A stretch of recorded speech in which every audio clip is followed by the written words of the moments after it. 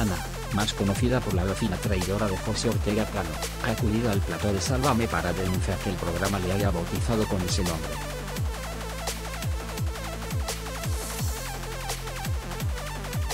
Además de zanjar este asunto, se ha enfrentado en directo con Kiko Jiménez, a quien ya conocía por la relación que mantuvo con Gloria Camila.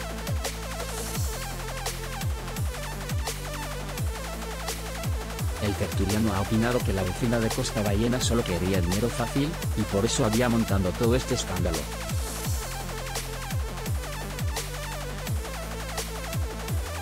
Además, ha revelado que cuando iba a la casa del extorero para estar con su expareja le intentaba presentar a su hija. Me quería endiñar a su hija para ver si se hacía famosa la cría.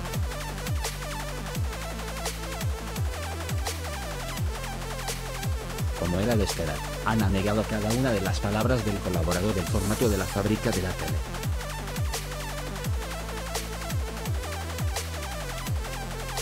¿No te da vergüenza? Verano tras verano hablando con la prensa y filtrando información falsa.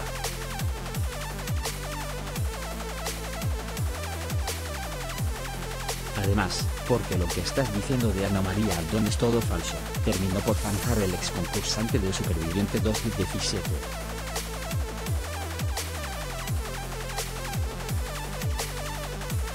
En ese momento, la invitada se ha levantado de la silla muy enfadada para enfrentarse al tertuliano, eso es mentira tuya como todo lo que cuentas aquí.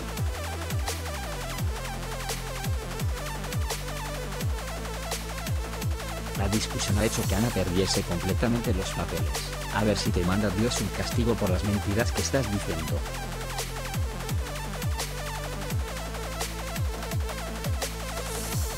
Este comentario provocó que Marta López interviniese porque creía que había sido demasiado.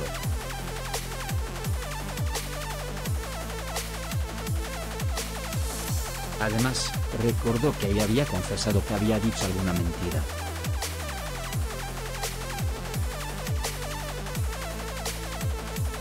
Vecina traidora y embustera, volvía a atacar el tertuliano.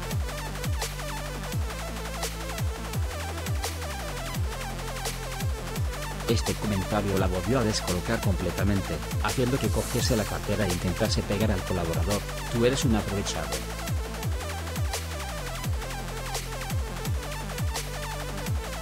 La vecina traidora le tira a Kiko Jiménez al ver ese comportamiento, Adela González la regañó por haber sobrepasado los límites e intentar pegar a un compañero, usted tranquilizase.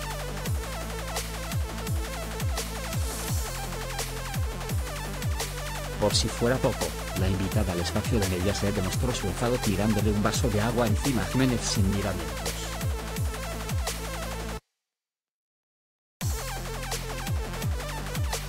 Cuando Terelu Campos le exigió que pidiese disculpas a su compañero, hizo un corte de mangas y se dio la vuelta para abandonar el plató rumbo a casa de Gloria Camila.